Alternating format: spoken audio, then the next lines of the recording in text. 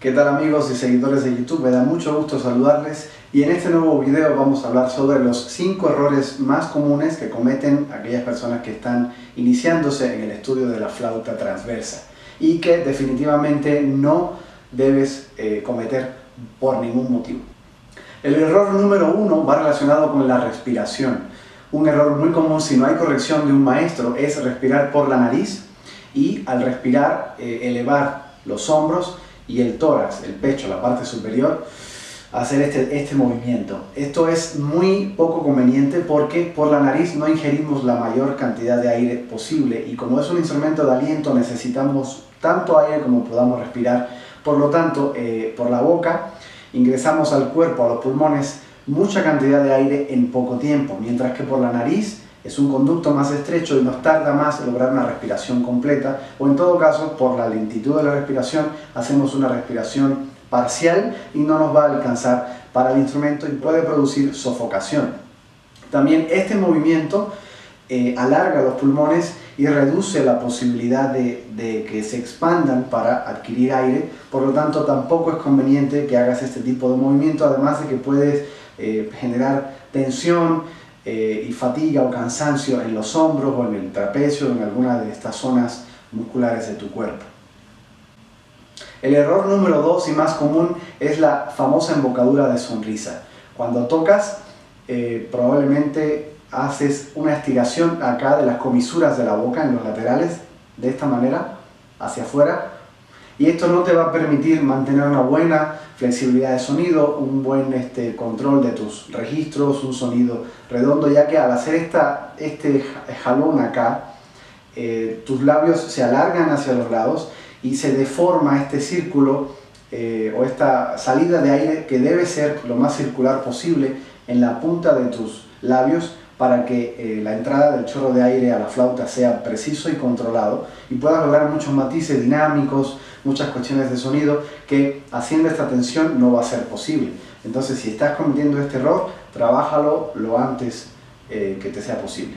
El error número 3 es la postura corporal. Eh, esto es un problema serio porque no nos damos cuenta, no nos preocupamos, nos descuidamos y en general asumimos eh, eh, muy frecuentemente posturas que están erradas. El peso debe estar distribuido en los pies a la misma anchura de los hombros, no separarlos de más ni tenerlos muy juntos. Debemos estar eh, perfectamente rectos con el pecho hacia afuera, el mentón erguido y distribuir el peso de, nuestro, de la cintura hacia arriba, de todo el torso y la cabeza, que es la parte más pesada del cuerpo, hacia los talones para que tanto visualmente como en comodidad y este,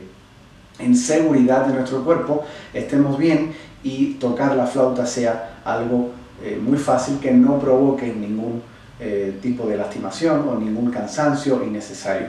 Es común encontrar personas que tocan y están inclinadas ligeramente hacia adelante o que inclinan la cabeza y esto causa una desfiguración de la embocadura. La relación de la cabeza con la embocadura siempre debe ser perpendicular. Donde esté tu cabeza derecha tiene que haber una relación perpendicular con la flauta de manera que se mantenga un eje de esta forma. Si tú inclinas la cabeza hacia un lado o hacia el otro y la flauta la mantienes recta, estás rompiendo este eje y por lo tanto se va a deformar tu embocadura y esto muy seguramente te va a producir un aire sucio.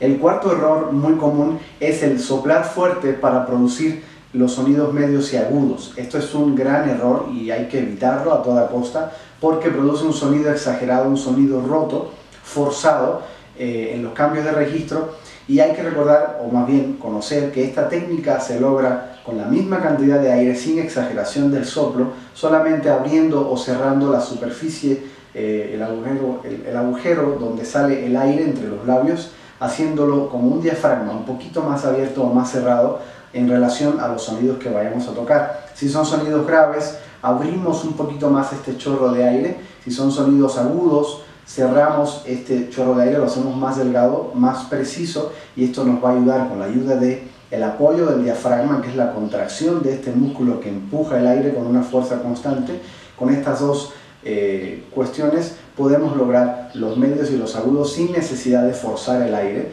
lo cual puede desfigurar y agraviar notablemente nuestra calidad de sonido, la limpieza del sonido y también la afinación del sonido.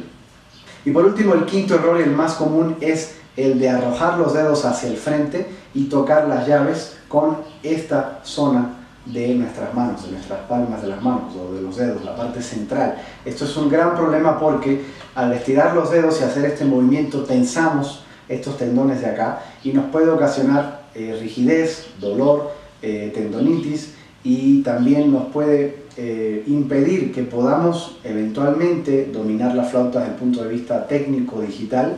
No podremos tocar rápido, eh, se van a dificultar algunos cambios de notas por esta mala postura de los dedos. Entonces hay que corregirlo, recordar que siempre todas las llaves se deben tocar con la punta de los dedos, las yemas de los dedos únicamente. Esto es fundamental. Entonces estos son los cinco errores más comunes que he encontrado yo en mi experiencia como maestro en alumnos que están empezando y que se deben corregir de inmediato. De todos puedes encontrar información eh, aquí en otros videos de mi canal, ojalá los consultes y si estás cometiendo algunos de estos errores los resuelvas cuanto antes para que el aprendizaje de tu flauta sea fácil, seguro, rápido y sobre todo correcto. Te agradezco mucho la atención, yo soy Daryl Antón y nos vemos en el siguiente video.